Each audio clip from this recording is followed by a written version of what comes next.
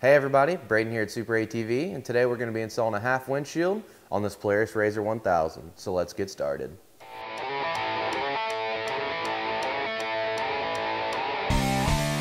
First thing we're going to do is peel the protective film up enough to install the bulb seal.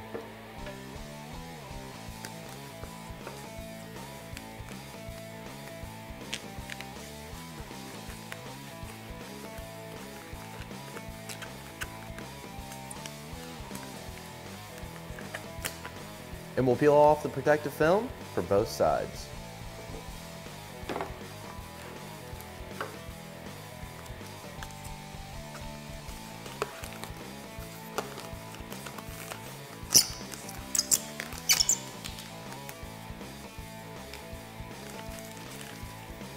Once we've got our protective film peeled up enough to install the bulb seal, we're going to go ahead and apply it. We're only going to apply the bulb seal across the lower portion of the windshield today.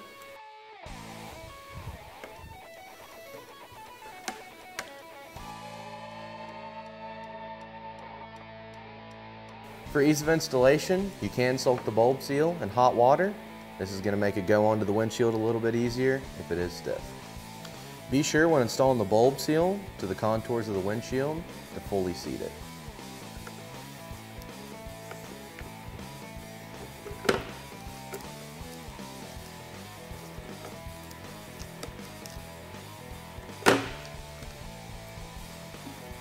Once you reach this portion here on the windshield, you want to cut off the excess bulb seal.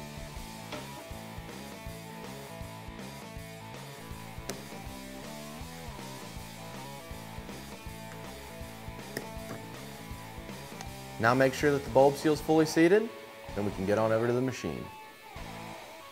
When installing the windshield, you want to be sure that the air dam is facing away from the machine. You're going to want to lay the windshield up here make sure that it fits properly. And it looks like we're good to go. So we can go ahead and remove our protective film.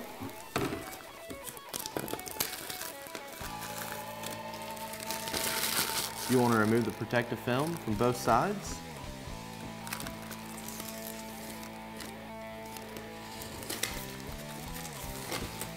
Then throw it away. Then install the provided windshield clamps to the windshield. Feed the strap through the clamp. Then tighten down the windshield. Now repeat the steps for the opposite side.